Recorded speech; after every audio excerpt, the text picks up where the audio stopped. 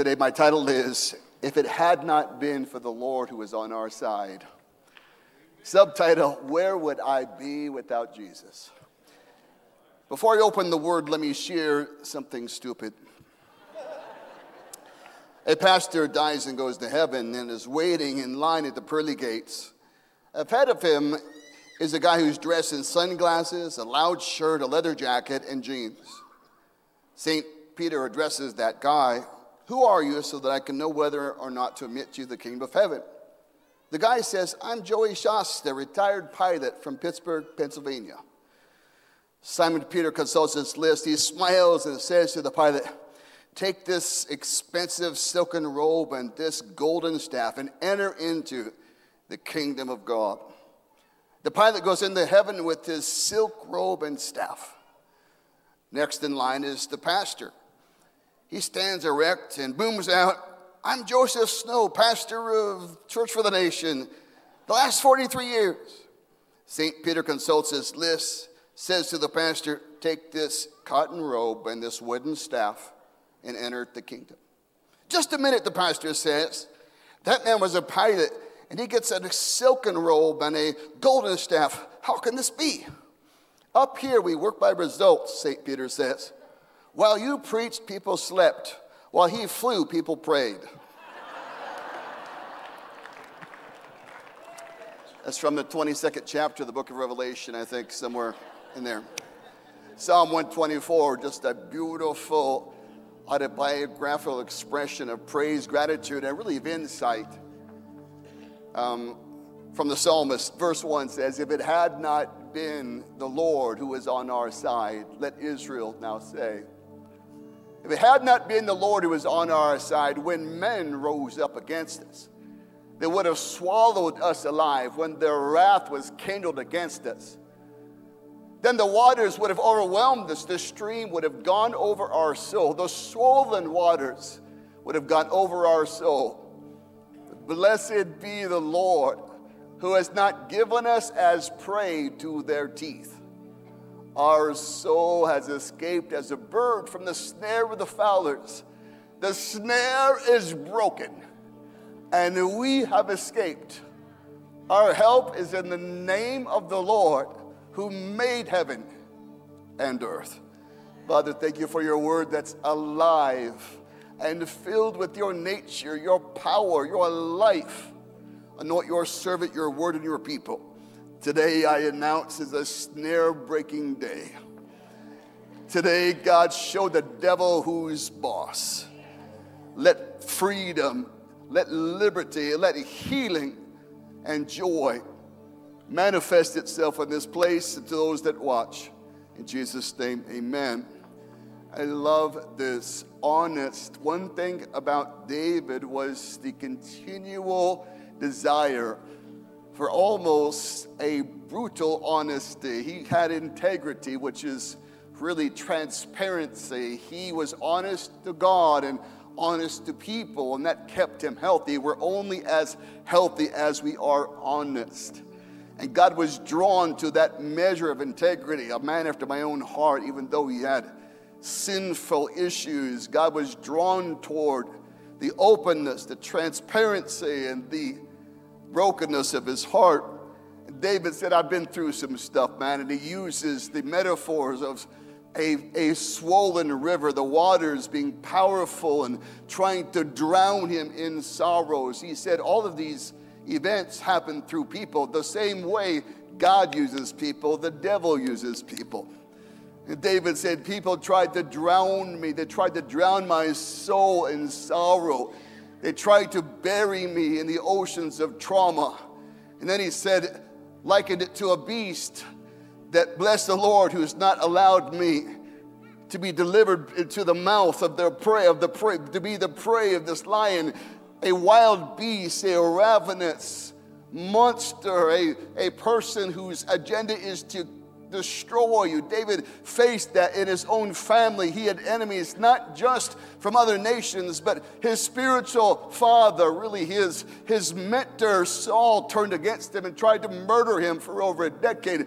His own family had issues. His own son betrayed him and tried to destroy him. David knew what it was like to go through the storms, the setbacks, and the, the painful dysfunction of family and of people. And then he likens the last metaphor to a bird trap, a snare, and the fowler, the one who catches the bird.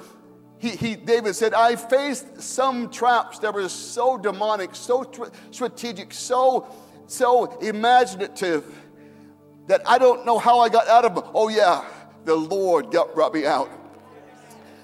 The, the, the, the enemy thought he out, outwitted God. And there's always, I, I, I've been in my lifetime sadly impressed by the ingenuity, in fact, the incredible intelligence often of people with evil agendas that have done things so complicated and so sophisticated in their design. You're like, wow, wow, how did they come up with that?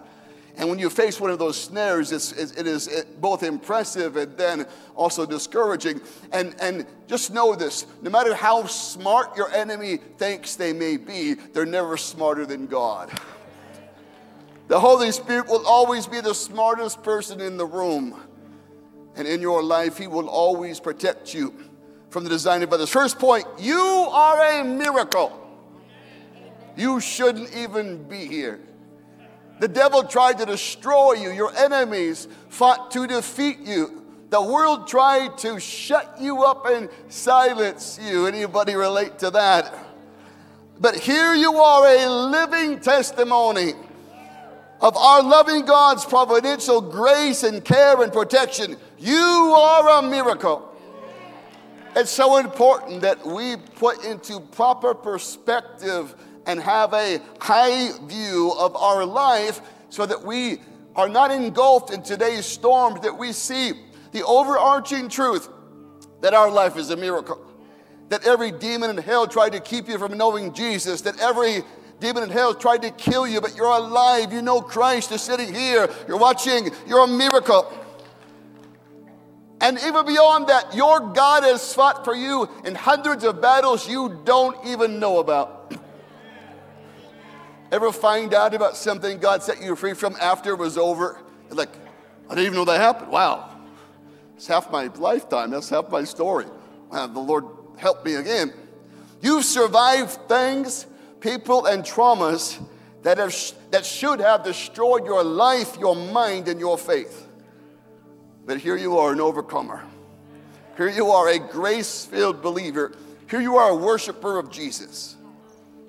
I know it feels like you've been through a whole lot of difficulty and pain, but I want to remind you that God has always been with you and He's always brought you through those difficult things. Yes, I'm sorry for what you've been through, but let me just help you. you you're through it. Well, Pastor, it's not over, but but but you're going to get through it. Yea, though I walk through the valley of the shadow of death, I will fear no evil. You are with me, God. That is always the sustaining grace of your abiding protective presence. A hundred thousand demons couldn't keep your loving God from bringing salvation to you through his Son. Your salvation, ah. The devil hates losing souls. The greatest battle on the earth isn't for money and isn't for influence, it's for human souls. For the eternal value of people knowing and living in heaven or, no, or not knowing God and being separated eternally from God. And so that's, that's a real thing. And every demon in hell couldn't stop God from getting you. You know, when you study biology, we are really complex creatures, complexly designed, all the systems of our body, the more deeply we delve into human medical science, the more we appreciate the tremendous, intricate fashion, how fearfully and wonderfully we've been made. Isn't that a great? But we begin as a one cell being. It is so amazing. One cell, and in that cell was your heart, your kidneys, your lungs, your mind, your brain, your body, your hair color, your height, all the sophistication of who you are. You talk about how mighty God is, how your story is a miracle. Some of you, the devil tried to kill in childhood. Some of you, God stopped your parents from aborting you. Some of you, disease tried to take you out. Some of you, heartache was so severe and so overwhelming. You're here as a miracle from God. The devil thought he would drive you insane or to drugs or to alcohol or to some other abusive, self destructive behavior. But here you are loving Jesus and worshiping God. You're a miracle. David said, Blessed be the Lord who has not allowed me to be delivered into their prayer, their the prey. The devil couldn't have you because God fought for you. And that is the good news of your story. That's the testimony of who God is. That's what God has for you to know. Second point is this the devil is a beast on a leash. His, his attack and authority has always been limited by God, even in the Old Testament and Old Covenant. But ultimately, he was defeated by Jesus at the cross. So the devil's a defeated enemy. He only has power through deception and through temptation and through disobedience from God. But the Bible gives us so many great promises. 1 Peter 5 says this be sober, be vigilant. Why? Because your adversary, the devil, walks about as a roaring lion, seeking whom we may devour. The next sentence says, resist him. James 4 says, submit yourself to God, resist the devil, and he will flee he will flee. You. God's given you authority to stop the devil. You have authority to rebuke the devil. There'll never be a demon, a demonic power, or a stronghold, or any kind of agency of the devil or the devil himself that has control over your life. You have authority to tell him no. You can rebuke him, resist him, remove him. You can cast him out. You can step on him. You can crush him under your feet. You can live in victory. The enemy's defeated. The, the Bible doesn't say that God took him off the planet, he's still here. But he's here so the church can exercise the victory and the atoning redemption of the cross and defeat him. The devil's defeated. In Jesus' name. Job 38, God's preaching to Job. Job was in a little bit of trouble with God. And Job's being preached to. Church, imagine church, and God Himself preaching. There's one person at church. And uh, and so God's telling Job how it really was. And, he, and God describes the creation of waters, the creation of oceans and seas. He says, Were you there when I made the great waters? When I dug into the earth and created their depths? When I set boundaries for them and said to the waters, Thus far may you come, but no further. You'll stop at the shore. Uh, there's been so many things God said to the devil, You can't do that to Maiden. You can't do that. The boundaries of heaven have protected me from the assault of the enemy. And in your story, it's the same thing. The devil can't do whatever he wants to do. The devil can't have you. He can't have your family. He can't do whatever he feels like doing. You're living proof of the power of God and the victory God gives his people over the enemy. Another aspect of this is something that's really important. David was unafraid of talking about his past, especially now in this chapter, referring then to the consequence of deliverance. And so he, his testimony was always with him. There's power in your testimony. When we talk about what God's done for us by sharing our testimony, the same grace that brought that victory is resurrected, bubbles up again. And maybe not just for us, but for the people that are listening. God wants to do for them what He did for you. When you talk about what God did for you, it allows Him to do it for them. Tell everybody you know what God set you free from. Don't be embarrassed if it was drugs or sex or whatever it was. Never let the devil shame you from sharing your testimony. I tell my testimony all over the world. I'll, do a pastor's conference this month and, uh, and I'll open it by, by telling them about how big I failed and there'll be a hush in the room.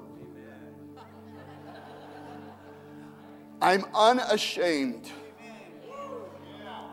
I failed so bad, had so many bad things happen, but look what Jesus did. Look what Jesus did. Blessed be the Lord who has not given us as prey to their teeth. Oh, you're a miracle. Tell your neighbor you're sitting next to a miracle. Just tell them that.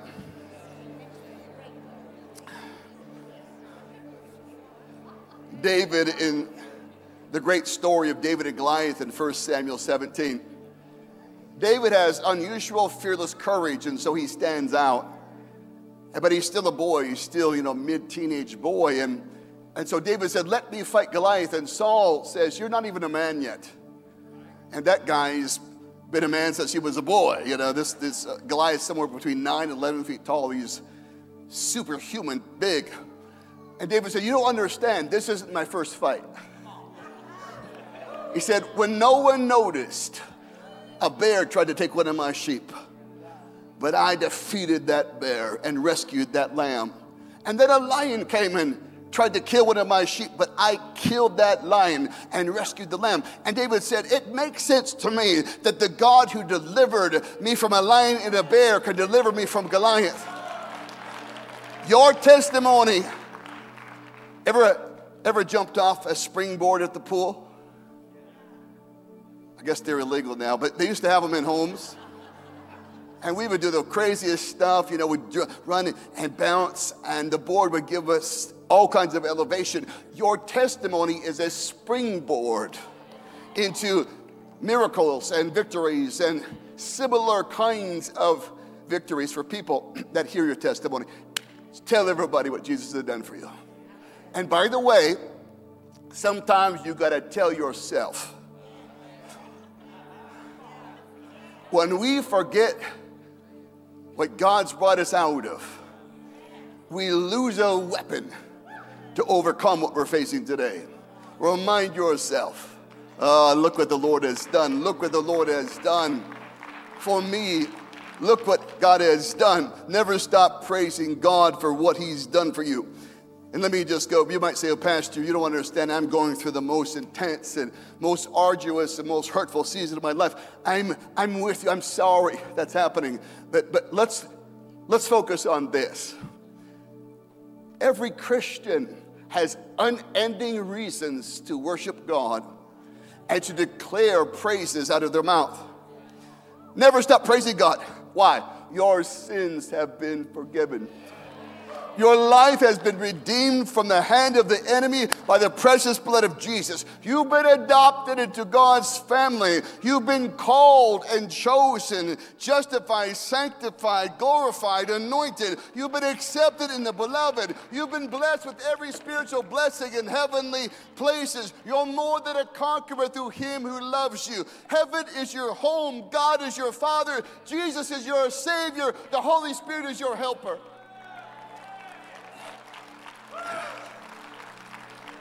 Remind yourself and rehearse in your heart and your mouth what it means to be saved, and your joy will come back.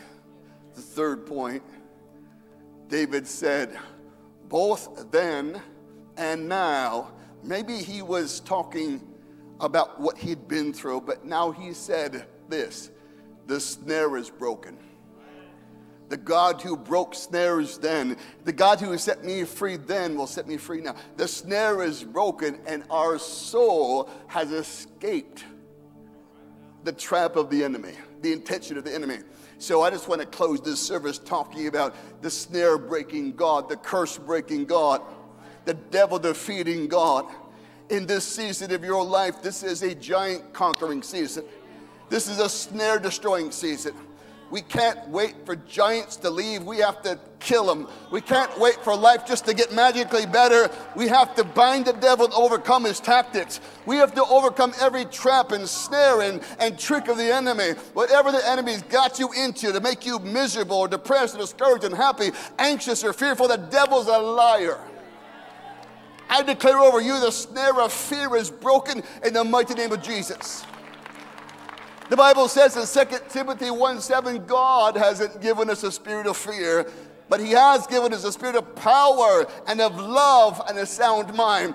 I rebuke panic attacks. I rebuke anxiety. I rebuke phobias. I declare this is your year to be free from fear. The Bible says perfect love casts out fear because fear involves torment.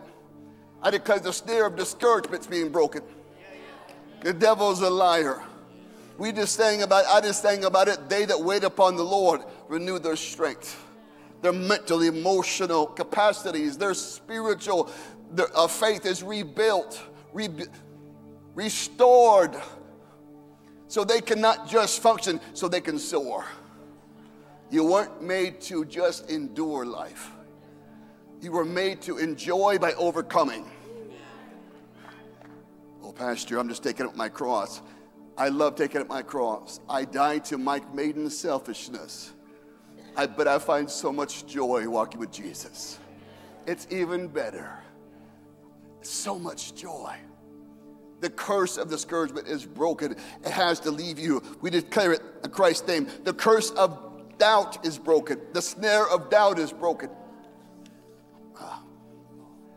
People are acting like there's some kind of new, progressive, sophisticated understanding of life, and they're taking a a new view of Scripture, a new view of spiritual things, and, and they call it deconstructing your faith, but the Bible just calls it doubt.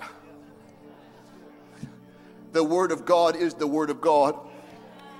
No matter how modern our approach and our sophisticated interpretation, the Bible is God's Word. It's eternal, it will outlive the earth. It will outlive all of man until we're in heaven. The Bible's forever, oh God, your word is settled in heaven. And so we can overcome doubt by what? Feed our faith.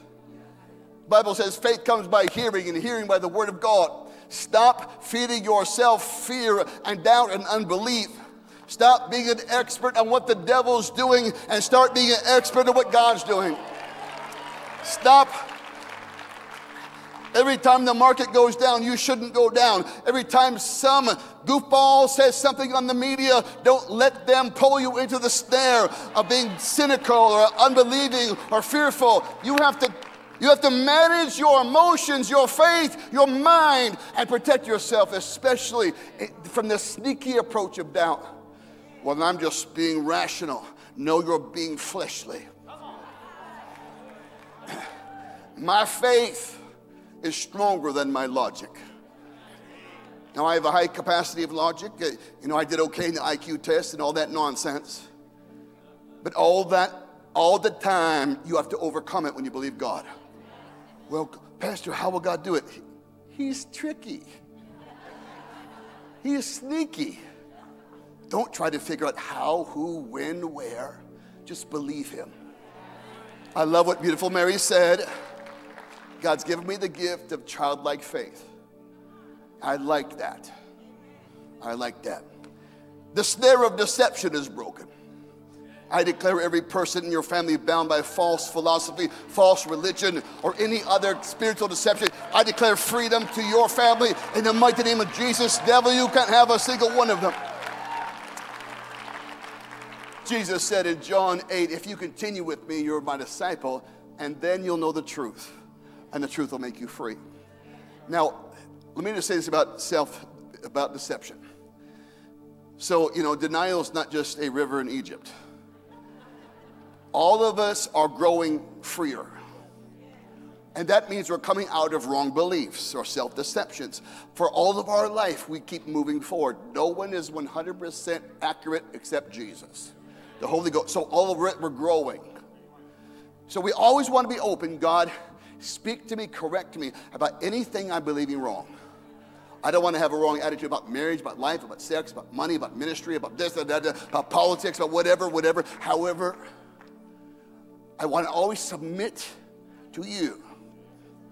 I don't want to get so woke, I'm ungodly. Okay? Hey, it's good to know the truth of America. It's good to know but man, I want to start meeting some woke people that are at least nice. That's, that's my prayer. I'd rather be spiritually awake than socially woke. Not, not picking on you. Whatever that means, always remember this the ultimate war of progressive philosophy is not against conservatives, it's against Christianity. And we are next. Yeah, they tried to silence it. They're going to try to shut up preachers, shut up the gospel, shut down medias, whatever they tried to do, because the truth offends them. To people that hate the truth, the truth sounds like hate speech. But it's not, it's freedom speech. And you can be free. Okay.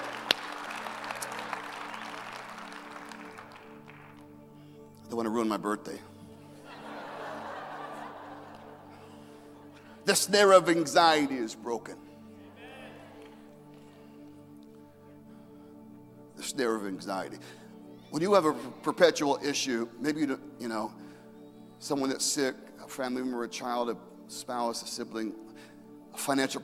So some issues that are constant give us the temptation to be constantly in upheaval, in emotional upheaval. But the Word of God and the Spirit of God are so powerful that we can sleep in the storm. Cast all your care upon him. The Bible says in Philippians 4 don't worry about anything, pray about everything. And then peace from heaven comes, guarding your souls, protecting your minds. We can be snared. The snare of lust is broken.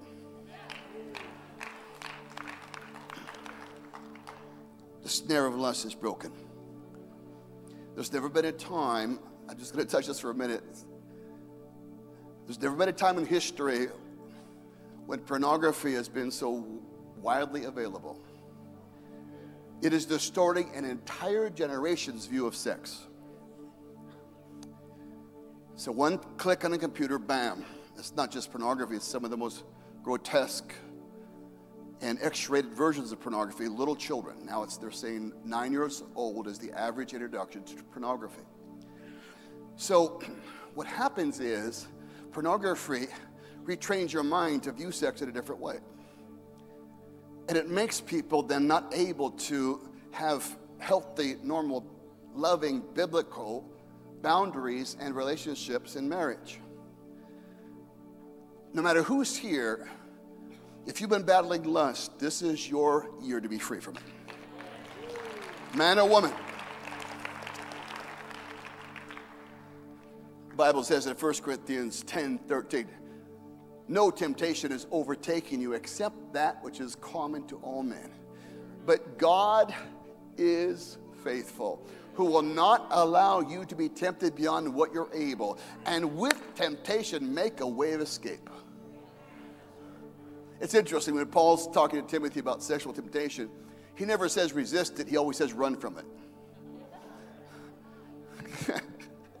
interesting, yeah? Don't put yourself in an environment to fail. You with me? All the guys going to the top of the spar, don't do it. Don't watch it, don't do it. Be careful. If you're single, be careful about putting yourself an environment where you only have sorrow and shame. God, will, the Holy Spirit will always try to warn us from dangerous places. Okay. Got it. Got to end on a better note. the snare of trauma is broken and the snare of identity trauma is broken. Now, this is the big stuff, big thing, because now, you know, I, I did a, a sermon last year. When I looked in, it was like on Facebook 150 different gender choices. Um, you know, you, you, you literally need a, def, you know, a dictionary to under, what the heck is that? So the devil is unleashed identity confusion. The culture supports it. Find yourself. But when God created man and woman, the Bible says this in the beginning, God created heavens and earth, and God created man in his own image, male and female. That's it. I have great empathy, compassion for people that are battling sexual confusion, doesn't matter what it is transgenderism or any other form of it now, all the other things that are happening. I, I'm with you. But you can never be eternal, internally at peace when you're at war with God. When you're at war with the design of God's nature, when you try to change that, it will never bring you peace. So God wants people free. And I just declared that people are going to come out of the deception, the snare of identity confusion, the snare of just trauma in general is broken in Jesus' name. Jesus said, I've come to heal broken hearts. There's no snare in this planet. I got to end, but there's no snare in this planet God can't break. Father, I thank you today. As I close, let every snare be broken. Let every deception be uncovered. Let every trap be defeated. God, I thank you for this year is an overcoming, increase, victory, miracle year. It's a comeback year. It's a fulfilled promise year. It's a snare breaking year. God, I thank you. I declare over the men of this church that they're going to be, that they're going to conquer the giant of pornography. I declare over the women of this church, they're going to conquer the giant of, of heartache and trauma.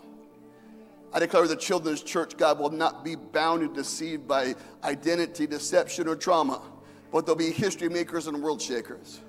And Father, I thank you for the greatest move of God in human history. You're, you're releasing it to the earth. We honor you and praise you in Jesus' name. Thank you for listening to me. On my birthday, stand to your feet, please, as we close.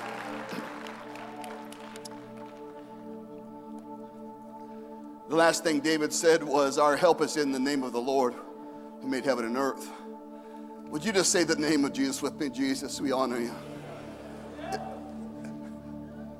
Jesus, you're everything. You're the creator, the sustainer, the savior, redeemer, provider, healer, liberator. You're, you're everything we need. You're the grace giver. Your kindness is immeasurable. Your mercy never ends. We honor you and praise you, Lord Jesus, for your faithfulness. I just want you to thank God for helping you. Whatever He's done in your story, just take a moment and thank God that He's been with you, He loves you, He's for you. Thank Him for what He's brought you through. And maybe you're going through a tough storm. I'm, I'm sorry you're going through it, but let's worship God through it. And let's remind ourselves that this won't be the first time God's helped us. Lord, prayer team, if you please join me down front. Lord, we worship you and praise you, God. Today, as we close the service, we don't want to invite anyone who needs prayer to join us at the front.